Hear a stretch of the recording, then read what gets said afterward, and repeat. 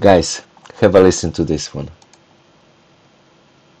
All right, Luke Mines writes in, "What do you think of the recent news that the new Jedi Survivor game uses 18 gigabytes and tries to allocate over 22 gigabytes of VRAM on your PC with a 4090?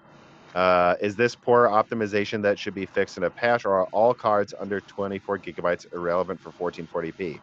Yeah, I'm sorry. What the hell is going on, people?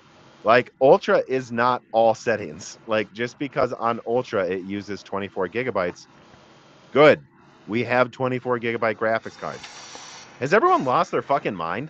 Like, do you want devs to not use the RAM in cards you can buy? What is going on? What is going on with these complaints? I don't get it. Because I looked at some screenshots of Jedi Survivor today.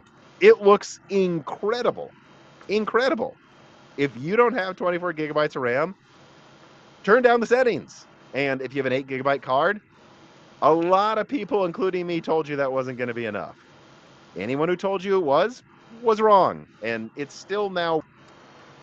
So, yeah, what do you think?